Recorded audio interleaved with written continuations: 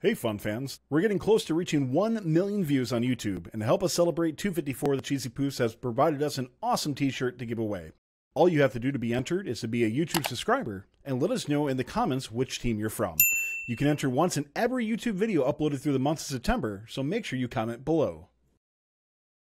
We have seen a lot of products come out from AndyMark recently, Danny. Um, we'd be really interested to talk to you about a few of them. Um, yeah, absolutely. So- so for the first one, um, the first uh, product that we wanted to bring up were your uh, new 40A orange compliant and stealth wheels um, that have replaced the 45A um, durometer um, maroon wheels. Could you uh, talk a little bit more about this product?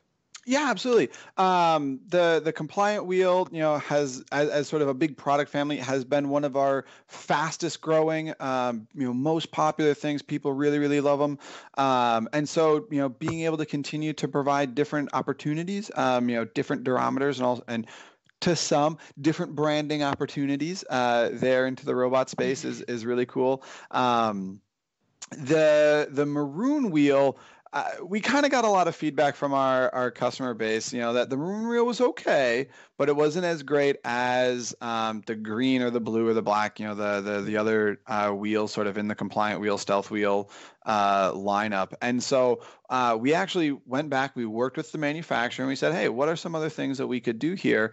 Um, and so we actually took the the raw material that makes the 35 super soft durometer uh, green wheel and we mixed in a little bit of some secret sauce to get a little bit stiffer a little bit firmer um, and create the the 40 durometer uh, orange wheel sort of our soft medium wheel. Um, and so one of the the big uh, advantages that that gives us now is we can uh, we have uh, the the green material was a lot more durable than the maroon material. They they they're two two different processes, um, two different base materials, um, but the green was a lot more durable, and people really really liked that. Um, and so by taking that green base material, making it a little bit softer, and, and kind of moving it up a little bit, we were able to get you know a wheel that is as durable as people want it to be, is a little bit harder. So now they can kind of play with some of the back and forth of soft wheel here, medium you know hard harder wheel. Uh, over there, um, and and really get a lot of that you know variability. So you know we, we've got our our sort of six different ftc um, focused you know wheels between the the stealth wheel line and the um, compliant wheel line um, mm-hmm. we've got more coming for um, any of our FRC viewers that are out there. We've got more coming in in sort of those patterns. But um, you know, right now our big focus is is getting the the FTC stuff, um, getting that out the door, getting that for for what you guys want. Um, yeah, so it's it's something you know that that's kind of exciting. That's super awesome. Yeah, we've had a awesome. lot of uh, we've had a lot of uh, a, a, good time, a really really good time with those green wheels. They've been they, they really helped us uh, at least last year, the year before. They've really helped us uh, uh, achieve those goals that we needed, especially with having wheels that can move. And so I, I think that it's going to be really great to see that same durability um, be wrapped up in a bit more of a stability um, stability focused environment. So I think that by by combining those, we're going to really see some uh, some unique elements, um, especially this year, which seems to be very heavy on the compliant wheel usage already. Mm-hmm. Yeah, one of the things that um, you know, I know some teams on the FRC side played with for the power up game, which also kind of had uh, it had a, a, cube as the game piece. It you know is uh, hard sides, um, so kind of you know it's somewhat similar um, to what the Skystone is uh, for this year. Is they'd put a, a, a hard wheel or harder wheel on one side and a softer wheel on the other side. So there, people were doing with like green blue, but now maybe do it with like green orange, um, mm-hmm. and that helped to always make sure that one was gripping and turning the game piece while the other one is kind of helping to to suck it in. Um, so a lot of different opportunities that people have, um, and I know a lot of people are like, we just get the green ones, we put them on, and no matter what, we use the green ones. Um, but there is a lot of different opportunity, you know, that you could play with, um, you know, the the different wheels. Yeah, Absolutely. So the other product that we uh, that you guys have come out with that's something that I found super interesting when I just saw it online was the S3 linear motion kit. So uh, Danny, mm. could you tell us a little a little bit more about that kit? Absolutely. This is something that we've had in development for quite a while. Um, to those of you guys, you know, here, you know that you know if you if you look back, you know through the memory right of all of the different you know FTC games going back several years, you know people have making stuff go up and down for a long, long time. So this is, you know, something that frankly has been missing from our product lineup for quite a while.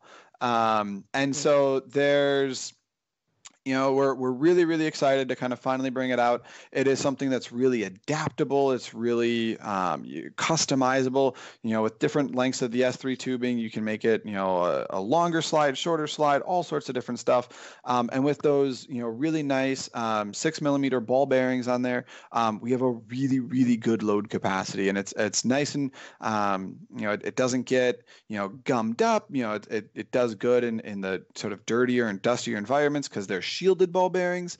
Um, you know, so the they, deal with dust, you know, fairly well.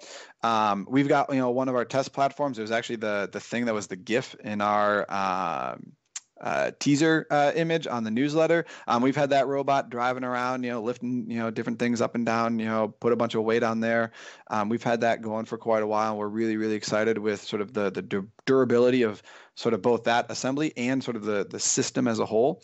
Um, so we're really excited about that. And one thing that I know uh, you know, Kevin and I, um, one of my coworkers, uh, put a lot of time and effort into is there's a really, really good user guide on the product page for that S3 linear motion kit um, that talks about a lot of the tips and tricks about doing some linear motion stuff um, as a whole. So it talks about our system, but also there's a lot of really good things in there for just doing all sorts of stuff um, in general. So, uh, like a lot of our guides, it starts with a parts list and sort of uh, some step-by-step assembly instructions um, for how to build this kit, um, and then a little bit farther down in that guide, a um, little bit more, a little bit. Here we go. Um, you know, we kind of we have an example elevator, and then we have kind of a lot of uh, tips and tricks, you know, that kind of go around, you know, with that. So um, a really cool, you know, guide. Um, a lot of work went into it, and we're really proud of it. Um, so definitely something to to kind of check out. Um, yeah, as, as also an educational piece. I know yeah, I think that there are a ton of little things about stringing, especially string lifts, that can just catch people up, and more resource resources on that are always incredible. Yeah, one of our one of my coworkers came up with um, the way in which we sort of go through that guide and the way we talk about how to run a string through this particular thing, and and we we very clearly we say this is one way of doing it. This is one example, um, but it's a really nifty uh, strategy of routing the string through the tube and through the gaps and, and different things. And we get to play with um, different um, kind of design spaces that we have with this particular system um, to get a really, really good string routing that is really safe, really protected. It's really mm-hmm. like outside of cutting the string, it's impossible for the string to jump off the bearing or do something else. Like it is a really, really durable system. So we're super excited about that particular little nuance of how, you know, this kit kind of came together. Mm-hmm. All right, I think that was a perfect uh, description of the S3 quit kit. So the last product we're going to talk about is the spacer tubing kit.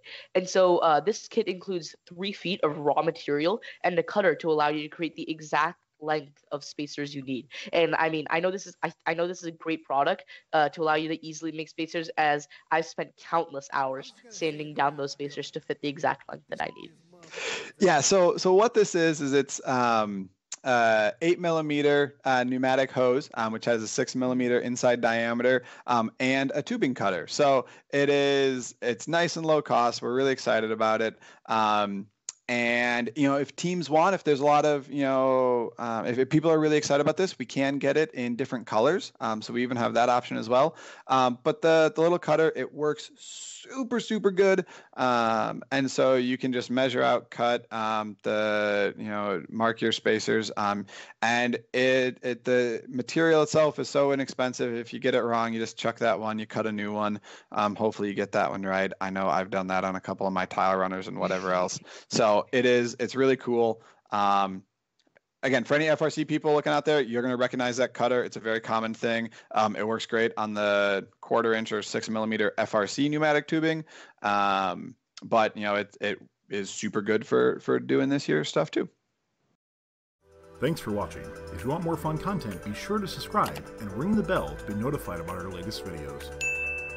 You can also directly help support Fun by visiting our Patreon at patreon.com forward slash first updates now or by subscribing at twitch.tv forward slash first updates now. Thank you to all of our co executive producers, keeping fun loud, live, and independent.